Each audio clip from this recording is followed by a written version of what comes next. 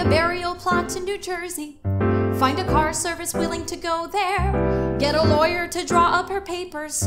Pull a conservative rabbi out of nowhere. Call her cousins. Call her friends. Call a shrink. It never ends. The list of things to do when my mother.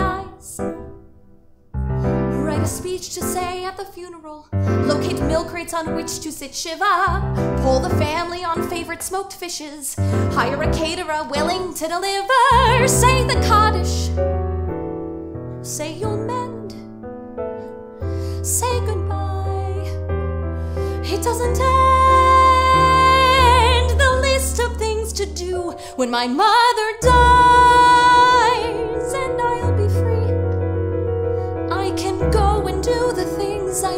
to do, the things I meant to be.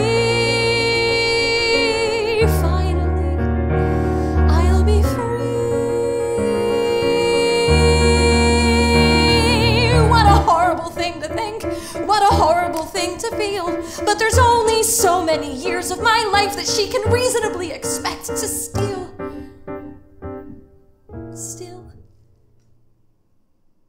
when I'm off on my own and settle down and all.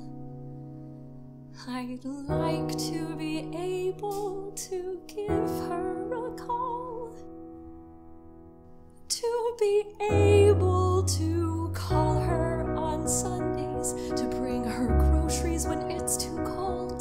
To scold her for screwing up her pills. To give her grandbabies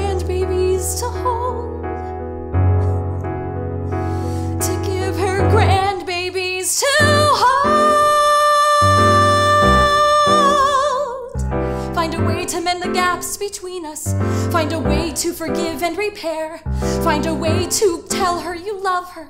Find a way to show her you care. Don't take too long. Don't wait till she's gone. Don't wait till it's time for goodbyes. The list goes